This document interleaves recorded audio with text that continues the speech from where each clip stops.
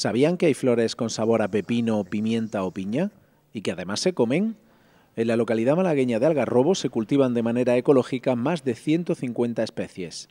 Mira, aquí por ejemplo tenemos la flor de salvia piña, una flor que, es de la familia de las salvias y tiene sabor de piña sutilmente y es una flor mm, expresivamente y perfecto para postres.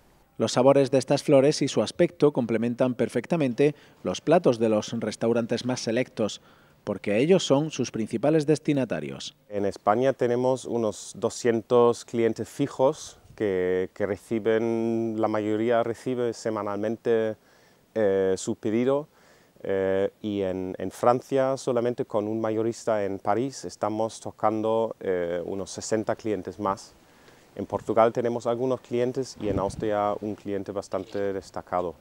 Eh, en total cuento con unos 80% de los mejores cocineros de España como clientes, clientes míos. El restaurante Oliva de Nerja es uno de los receptores de estas flores ecológicas que del campo llegan al plato como ingredientes que dan sabor a las creaciones más originales. Son pequeñas explosiones de sabor en distintos puntos del plato sin contaminar el resto del plato. Entonces podemos poner un... de pronto estás comiendo un plato y de pronto te viene una punzadita de orégano, de pronto te viene una punzadita de borraja, de pronto te viene una punzadita de tomillo, sin que estén todas mezcladas en, un punto, sino que cada puntito te van llegando esos sabores. En esta hectárea de terreno es donde se producen las diferentes especies para el mercado nacional e internacional. Para nosotros la flor comestible no es solamente un toque bonito al, plato, pero en vez de esto eh, la flor tiene que aportar algo más y este algo más es un sabor eh, distinto, un sabor especial, porque así eh, la flor puede eh, puede formar parte integral de la, de la, receta o de la obra de arte